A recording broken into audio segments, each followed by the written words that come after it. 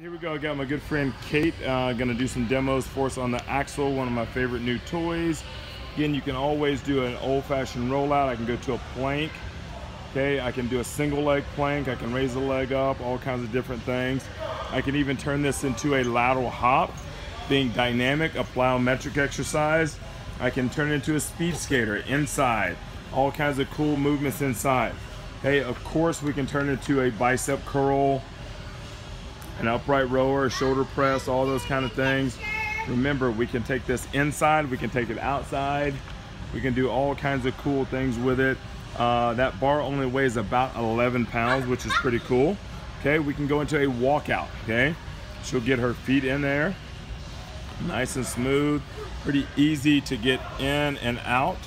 Sorry about that little shooting error there for me, okay? So now I can turn those toes up, I can walk in, then I can push myself back, walk backwards. Notice a good core and upper body.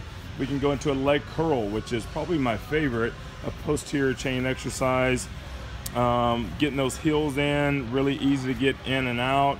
Again, working posterior chain, a little push up with those hips, two or three reps. That's pretty dang good right there for a hamstring exercise.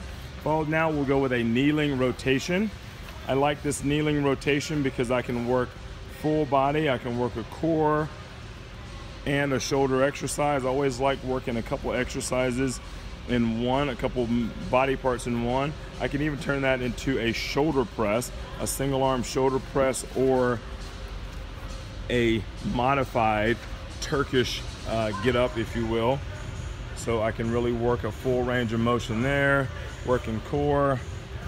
Kate's working pretty hard there, pretty good there. So one of my favorite things to do with this is a hang clean, okay, uh, and make this a true bar. You can add a true weight, make this like a true like Olympic bar. So Kate's adding a little bit of weight there, adding uh, 20 pounds. So you'll see Kate do a hang clean there. Good, Kate elbows high, good, and catch low, good.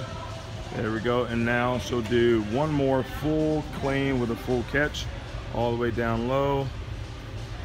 Excellent, and now you can even turn this into a snatch. Her grip will be out wide, she'll move those straps in. We'll show a true snatch. Excellent, excellent work. Do one more of those, Kate. One more, true snatch. That's my daughter in the background, she's awesome. All right, and there you have it. That's all the exercise that we're gonna incorporate right now on our axle.